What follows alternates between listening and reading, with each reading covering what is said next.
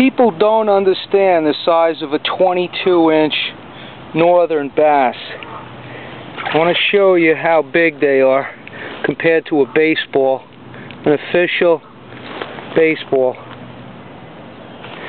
They're like almost three times the depth. And look at the size of the baseball in the fish's mouth. Okay? It the mouth dwarfs a, a, an official sized baseball. This is an over seven pound bass and you got to catch hundreds of five pounders and dozens and dozens of six pounders before you get a seven pounder. I've been resuscitating her since I caught her. She's absolutely full of eggs, monstrous belly,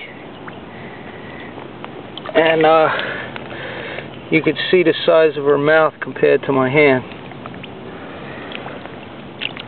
Oh, what a fight. Unbelievable honor to catch a seven pounder May 5th, 2010 on an ultralight fishing rod. I catch these giant trophies on these little tiny 700 size whiskers, 5 foot ultra ultralight trout rods. And uh, what a day. I gotta get her resuscitated, man. She's just absolutely beautiful.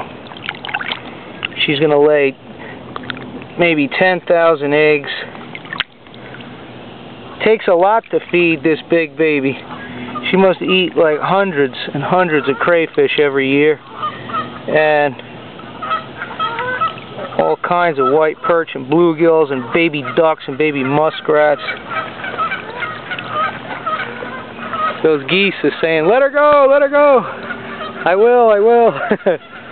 I saw that big buck largemouth today, and I stood up on a giant snapping turtle over 100 years old. I mean, just look at the size of this fish.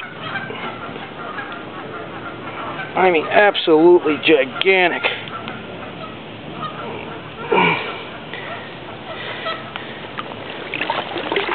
oh.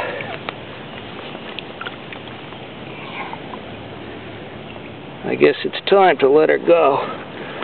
I'll let her go in the shallows here so we can maybe get some footage that will be interesting.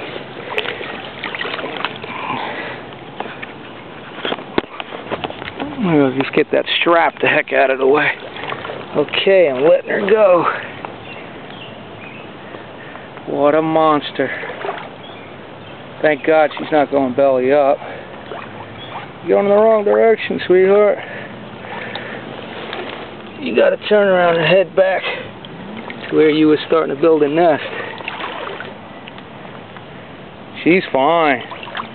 Good and strong. That's it. Head out to deep water.